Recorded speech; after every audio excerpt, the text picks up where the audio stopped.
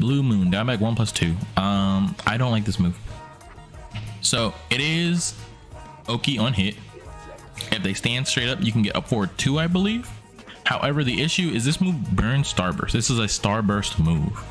Why do I need this one that's 17 frames when I have one that's 16 frames?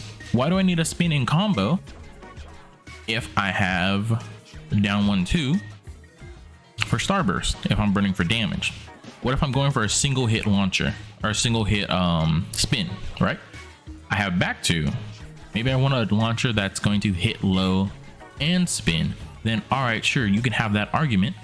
But in how many scenarios are we having a situation where Claudio is hitting you too low where he can't launch you and needs a spin in a single hit?